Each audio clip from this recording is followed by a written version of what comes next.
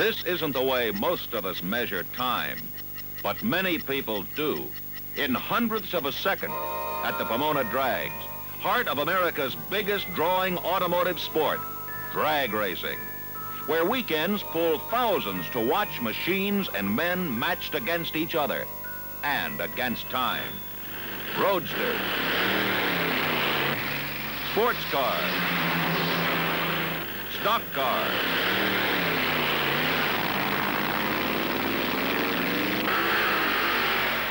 rubber-burning rail jobs racing the clock that counts time not in seconds, but hundredths of a second.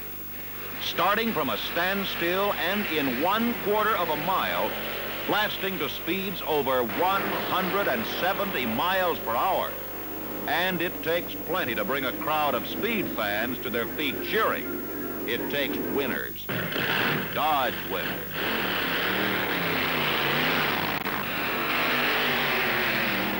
And winners powered by Dodge. This one holds the national record. A screaming 177 miles per hour at the end of the quarter mile. Many dragsters select Dodge for top performance, dependable performance. And here's a surprise for the clock watchers. Meet Dick Boynton, star newscaster and disc jockey from San Diego. He's a man of two loves, hot machinery, Dodge by choice, and Mary, his wife, who's as much at home with a carburetor as a kitchen. The surprise, a 63 Dodge D100 pickup. Boxy? Sure. Functional, too, has to be. 70% of the weight is up front, where it belongs, offsetting the loads it's built to carry. And it weighs in at 3,900 pounds. Three times the heft of the rail jobs running today. No stick shift either. Automatic transmission. It's a truck, let's face it.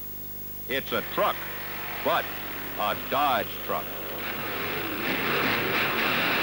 Dick and his Dodge D100 don't like the smell of burning rubber, so they outrun it, trumping a far lighter, lower Chevy passenger car, crossing the quarter mile line at a crowd-pleasing 110 miles an hour. Almost evening, and another day of Dodge's proven performance. These laboratories on wheels add a new measure of performance, a new measure of Dodge dependability that adds fuel to selling Dodge around the clock.